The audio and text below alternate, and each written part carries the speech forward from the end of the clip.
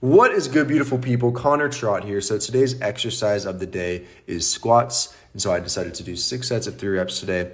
So whenever I'm going a little bit heavier on my squat days, I like to wear a belt and knee sleeves just to prevent myself from injuring myself as much as I possibly can. So the setup for these, I like to kind of position the bar right at my collarbone level, right under shoulder level as far as where, you know, to place the bar and position the bar.